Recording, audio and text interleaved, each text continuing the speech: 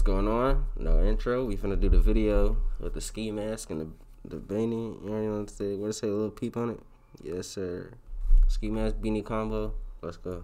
It's called the Great Unretirement. People working into their golden years just to make ends meet.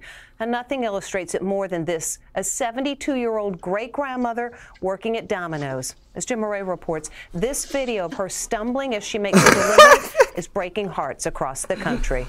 The video is heartbreaking. A great grandma Oh, is making the delivery for Domino's Pizza.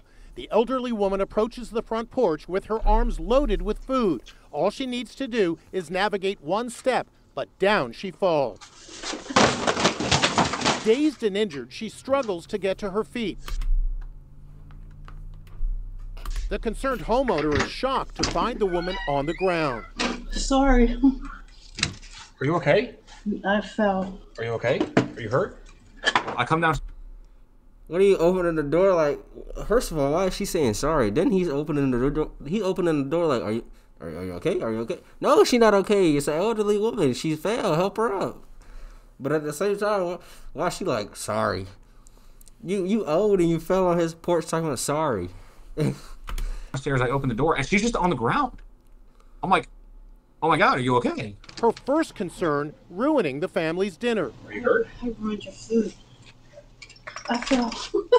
There I go. Boom. I fell on their pasta and my head was going towards their chair and I'm going, oh my God, I'm going to lose an eye. You must have been so frightened for a second. I was, yeah, I was shaking. Barbara Gillespie, age 72, is a retired school lunch lady. She says she took the job with Domino's Pizza because she needed the money. I don't really see how that can get you on the news, falling on somebody's porch. But all right, okay.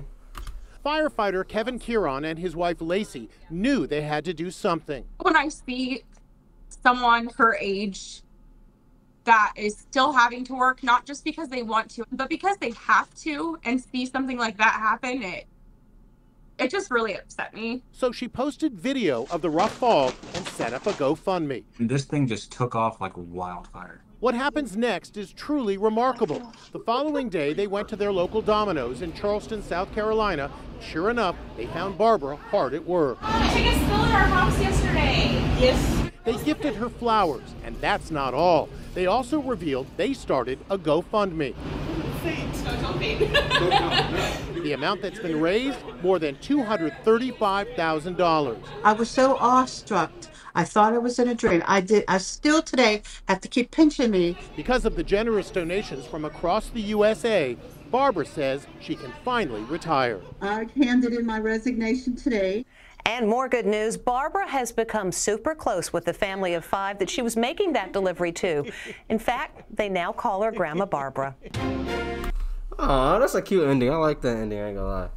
But um, all right, man. No outro.